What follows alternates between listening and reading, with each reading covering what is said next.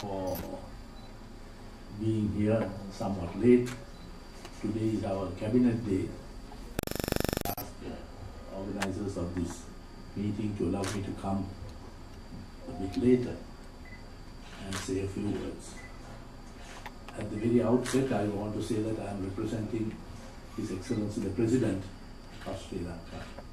Uh, he had accepted your invitation, but today is a busy day, being cabinet and asked me uh, to represent him here.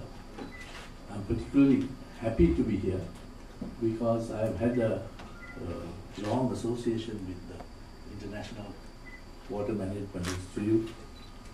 In this long tenure as minister, I was also for some time the Minister of Irrigation. And uh, at that time uh, worked closely with this uh, institute.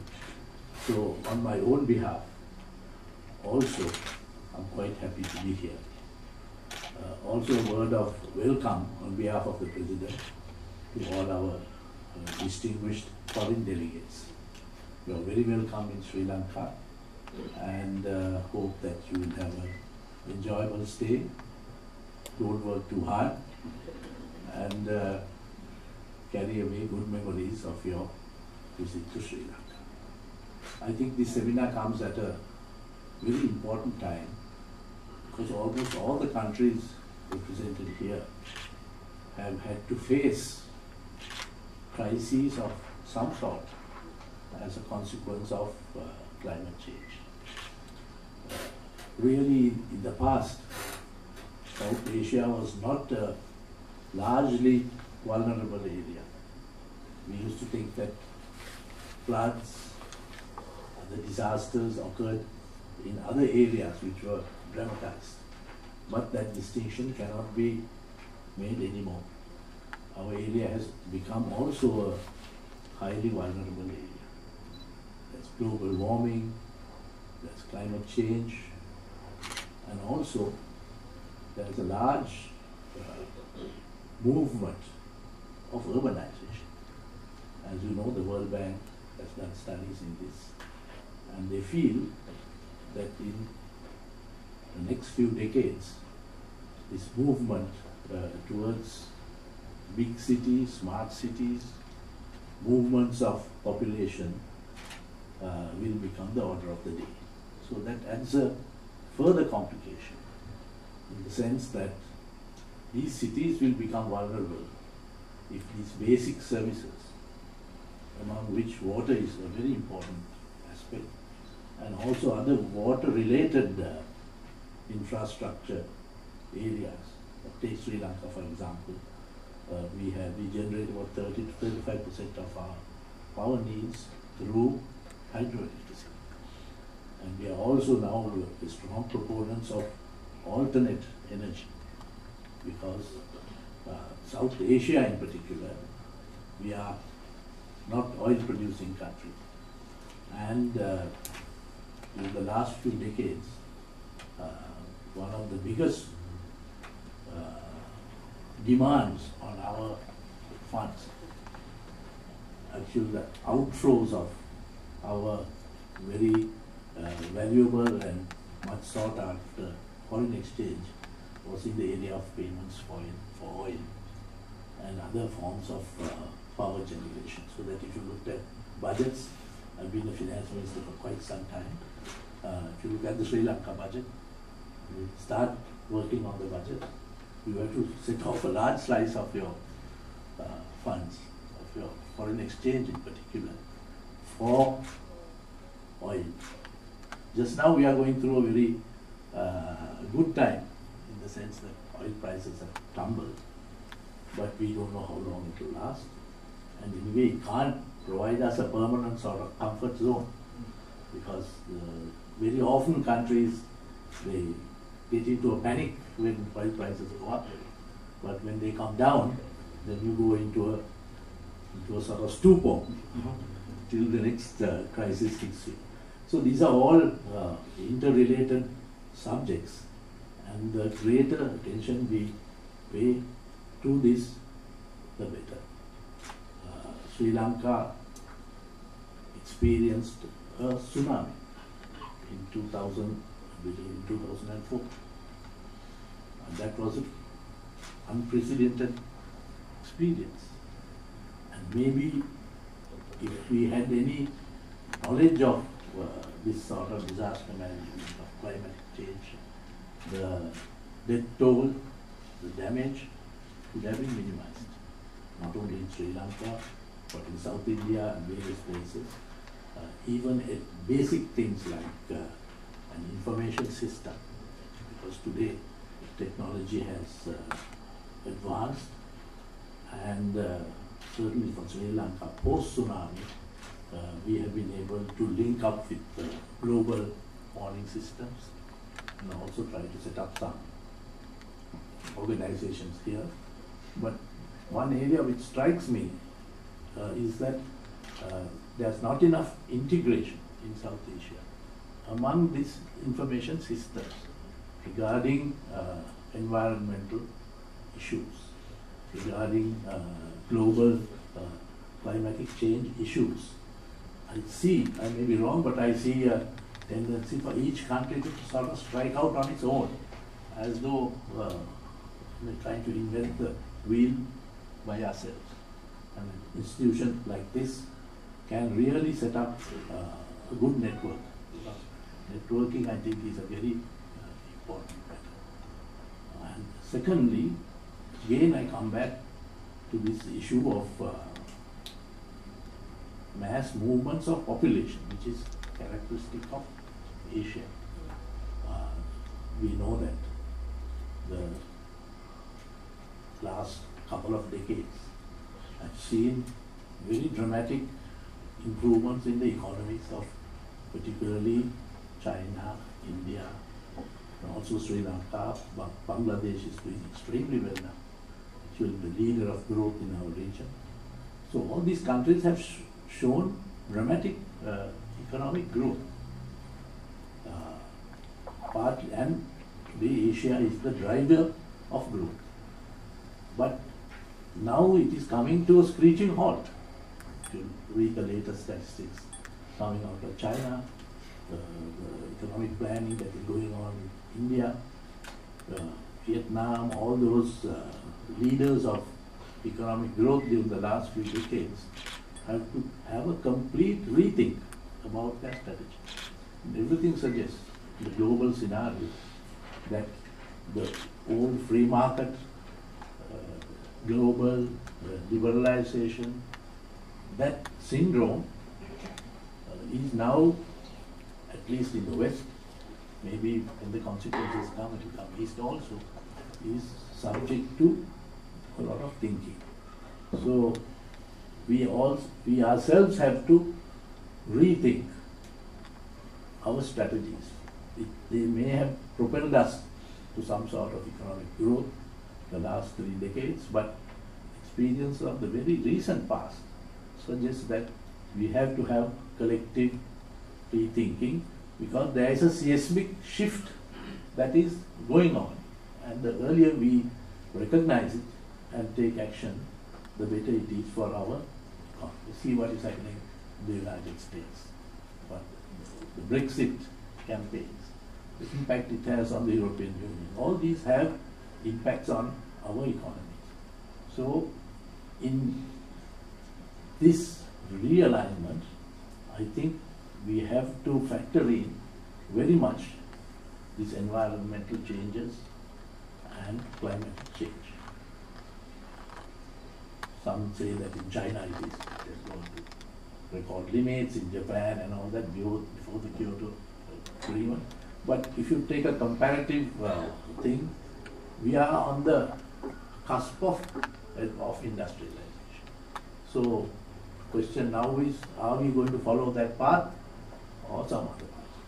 So it's very important, but this, all this has to be subsumed under the uh, notion of economic growth. How do you integrate these things uh, on the uh, area of a very important growth trajectory? This is something that we have to all now think about because what is happening in the world in the last three decades where everybody was very proud, we congratulated ourselves that uh, you know we are leaders of growth, we are the engines of growth, and all that.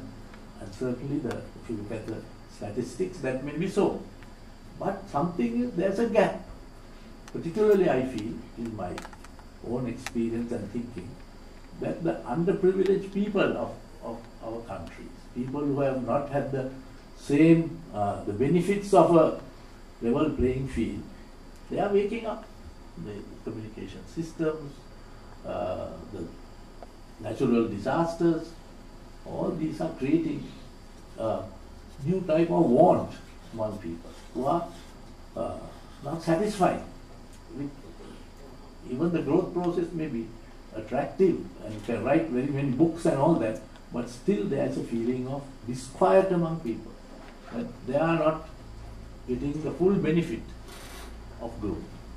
They are not getting uh, full benefit of a, a level playing field. So we have to look at all these environmental, climatic, global changes in terms of uh, finding solutions which are acceptable to a much larger group of people. Tendency has been, particularly in the environmental field, to concentrate on decision makers, on leaders. Are so many proclamations coming up, so many documents, so much of documents, documentation on uh, environmental change and uh, global activities. I think they become such a big mountain that that is a pollution by itself. So that, that is that, that may be necessary at the very beginning to sensitize people like leaders and so on.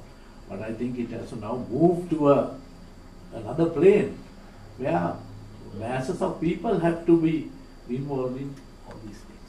Now take the question of water in Sri Lanka. It's becoming a very big issue in, in Sri Lanka because if you look at the rate of growth, we have to think of the infrastructure. It is not only the, the big buildings that are coming up, the condominiums, the housing estates, all that. But uh, we have to provide the basic infrastructures. For example, uh, the domestic use of water in these rapidly expanding cities. So I want to suggest actually the cabinet also will get, in touch with you. We are asking the World Bank and you to do a water survey of Sri Lanka and see what is happening.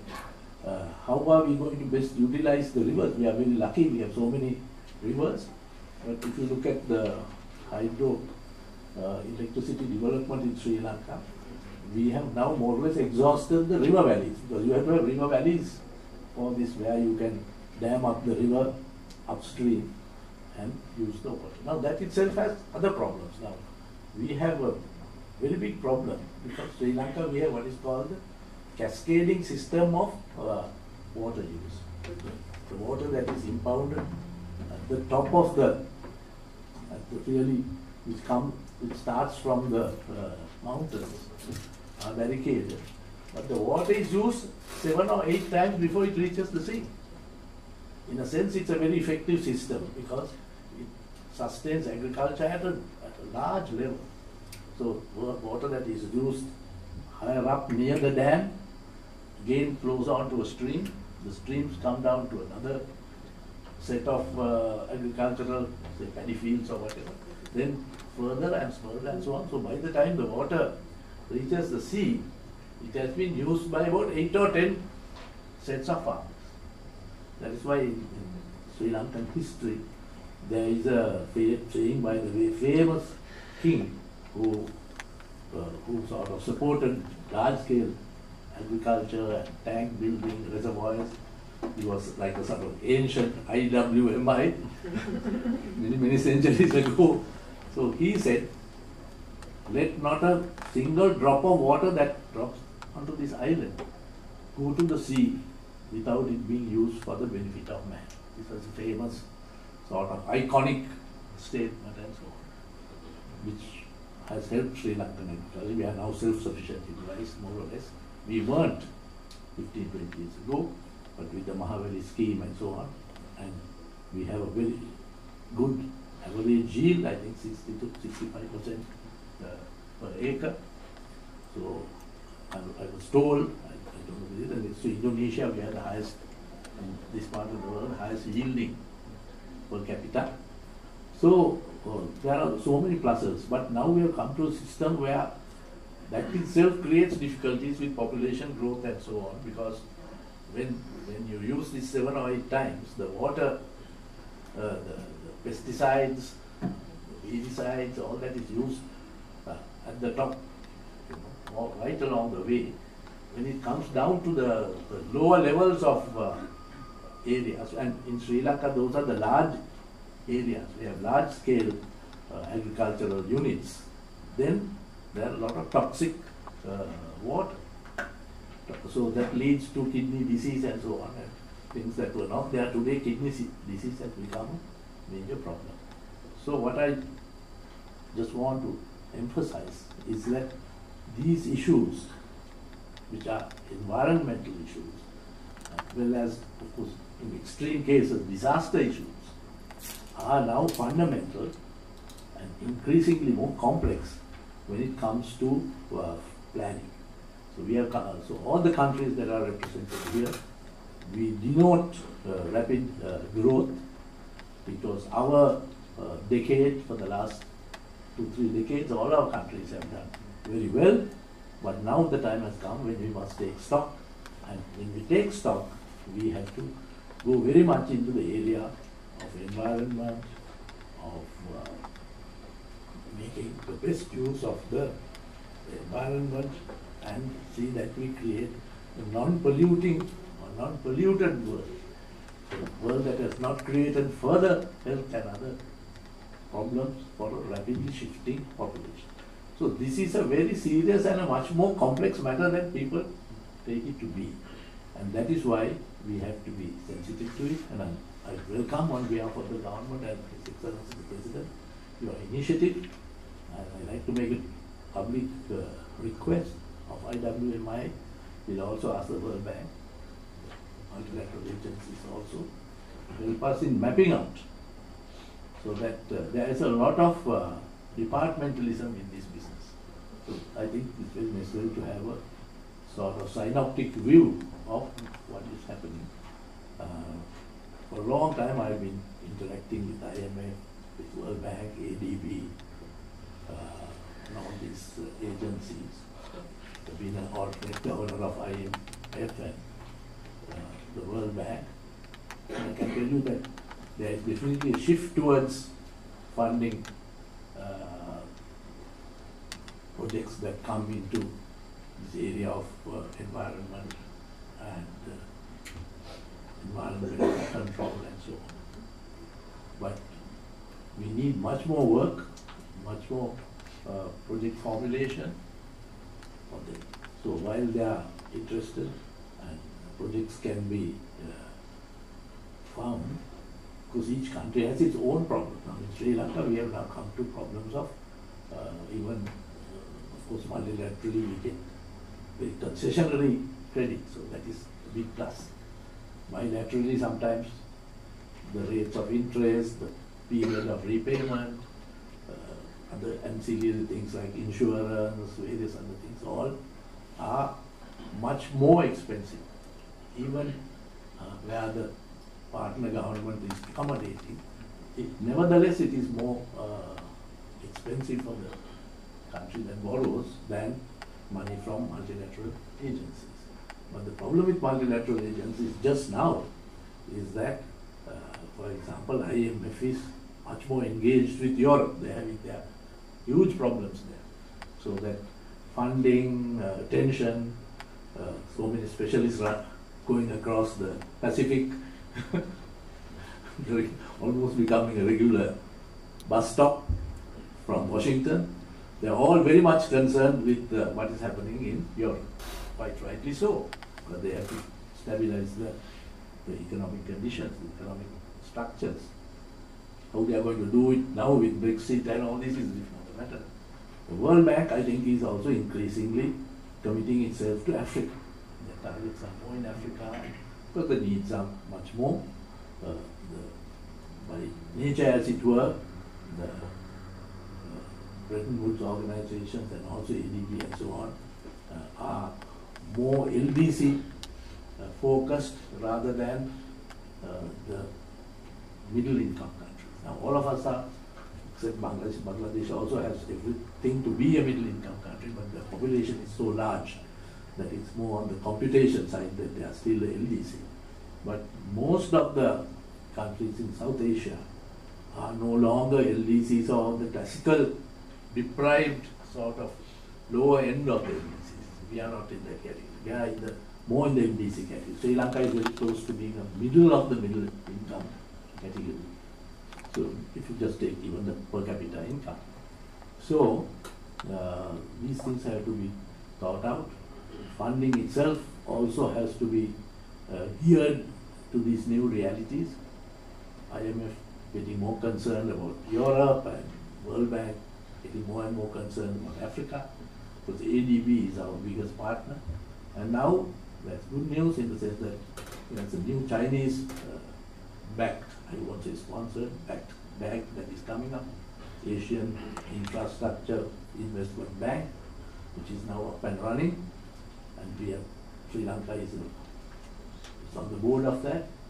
And we have taken the decision, AIIB has taken the decision to work together with existing uh, multilateral agencies to go for joint than they are doing a, they are doing I think a very sensible and a very uh, coherent approach so that they say well look we will we are not in opposition to ADB or not in opposition to some other funding agency.